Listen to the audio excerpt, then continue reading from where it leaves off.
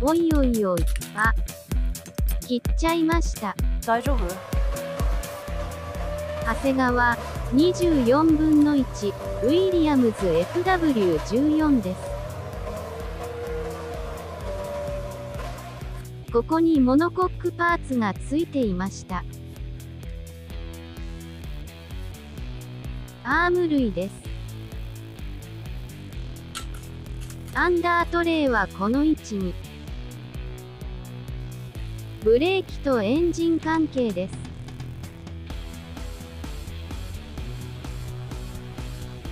左がマンセル用、右がパトレーゼ用。92年までの太いタイヤも OK です。あれ？ホイールはフォンドメタルだったっけ？タイヤデカール。付属の FW14 のデカールです。カルトグラフ製の FW14B のデカールも当時買っておきました。14B のキットにしかつかないアクティブサスデカール。これがあるので FW14B で製作します。資料は F1 モデリングナンバー15をメインで。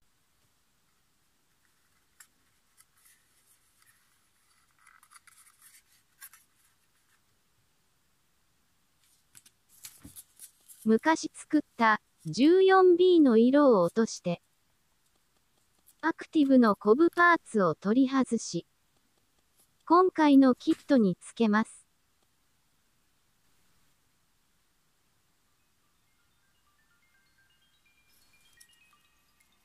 14B のキットに追加になったノーズパーツも今回のキットに使います。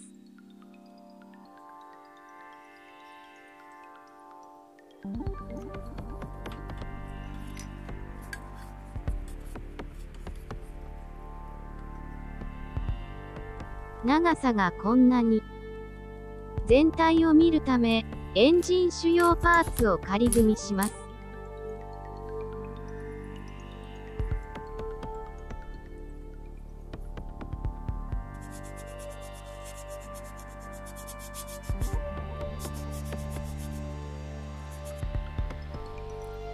瞬間接着剤を点付けで仮固定します。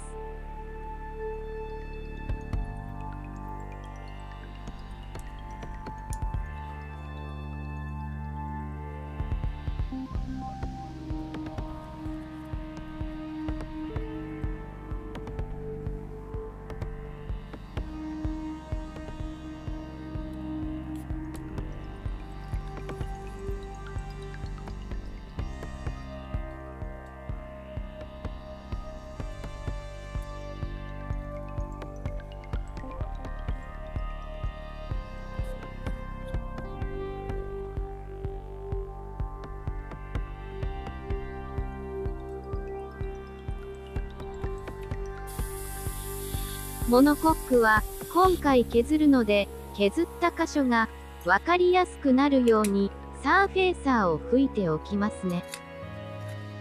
こうしてみるとシンプルでかっこいい。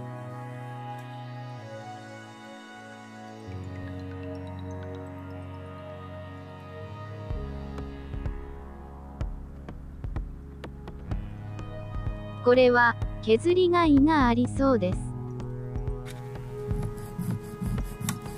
後に金属線を通して差し込みで接着します。この手の F1 はエンジンの底をしっかり平らにしておくとアンダートレイで安定します。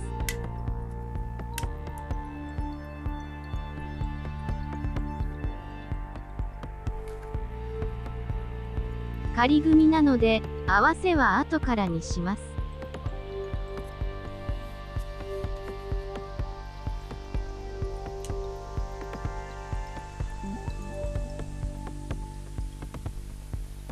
懐かしくて、なんか面白くなってきました。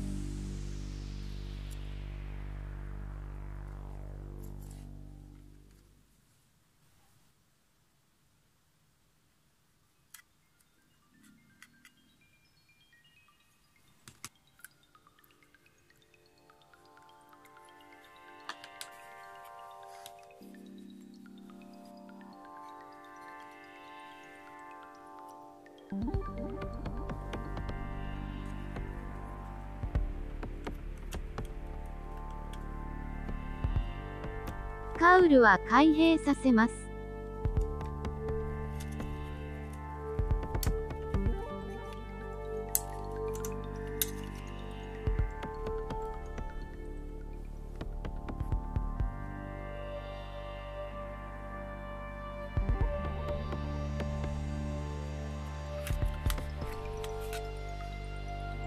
タミヤの12分の1と比べてみます。この面は結構平らです。こちらはかなり丸いです。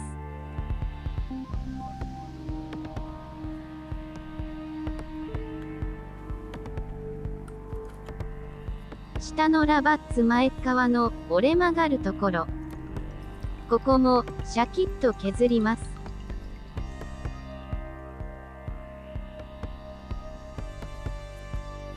空力マニアが喜びそうなノーズ下面の微妙なカーブ。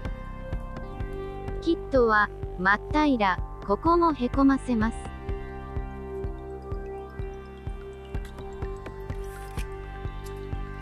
思い切って削っていきます。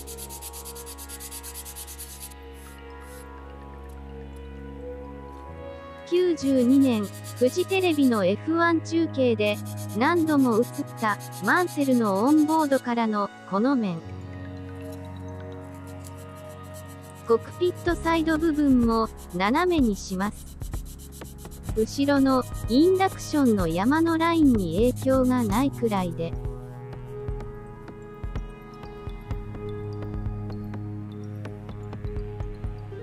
かなり平らになりました。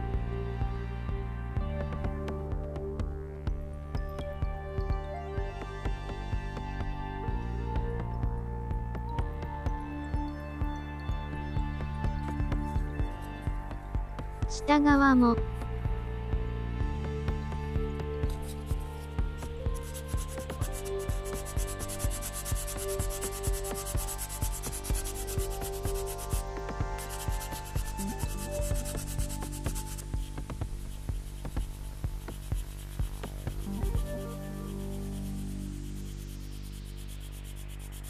ガンガン空気流し込んだるでという狙いが見えます。アーム取り付けに影響はないと思います。ちょっと上から見ると削った面が見えなくなるくらい角度をつけました。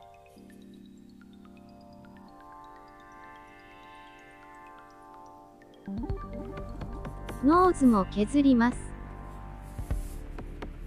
タミヤ12分の1のノーズの長さを測り、割る2にします。その長さでカットしてみます。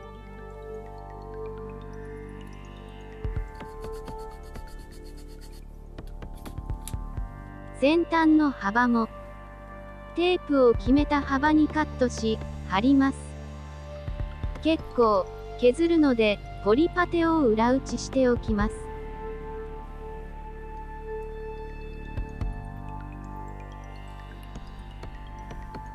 先端をテープの幅までカットします。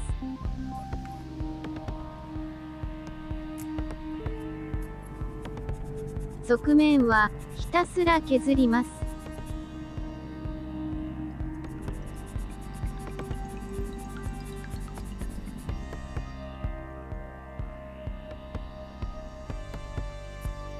ノーズの接合側は一段なだらかになるように削ります。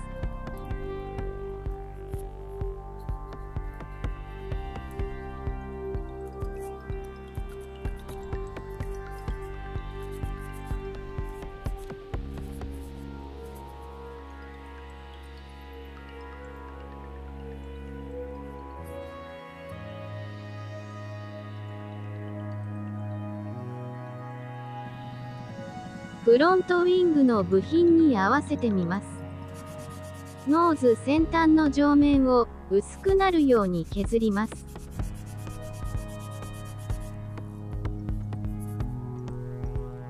もっとシャキッとさせます。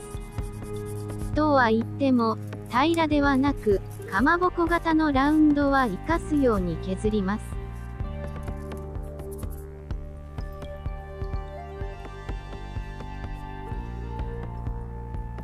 正面から見て、丸さを消さないように。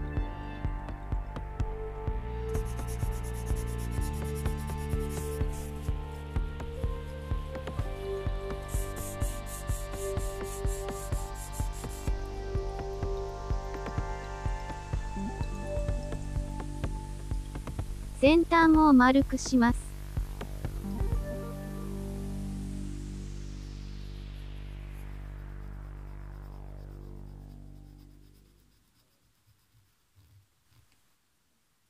下のえぐれを削ります。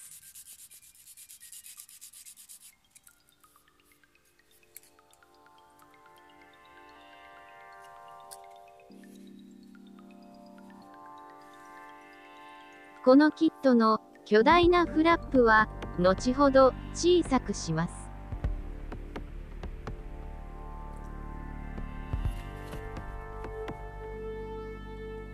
何と言いますか、まだ何かもたっとしてます。ノーズがまだ太いのかな？決めた。もっと削ります。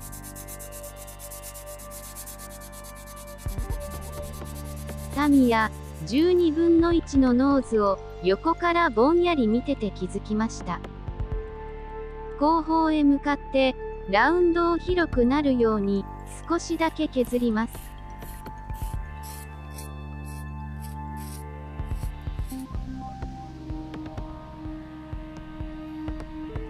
ノーズの作業は一旦ここでストップします。続いて、シートを仮組み。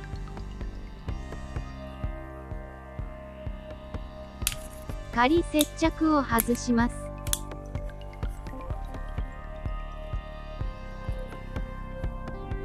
コクピット横に穴が開いてるので塞ぎます。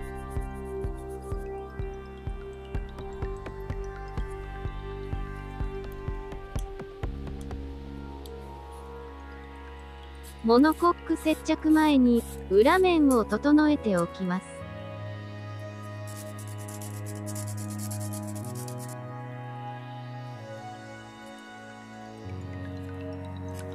フロントのアクティブサスのカバーを開けることにしましたので、接着前に真ん中で切り込みを貫通させておきます。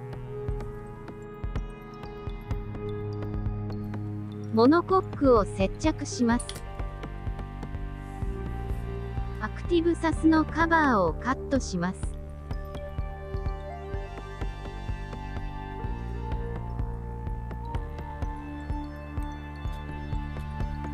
ラインがわからなくならないように墨入れしておきました。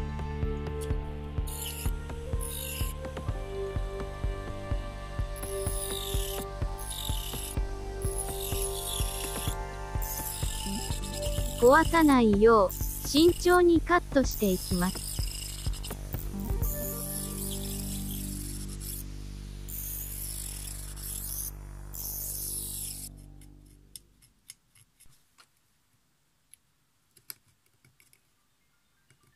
地道に切っていけば、いずれ、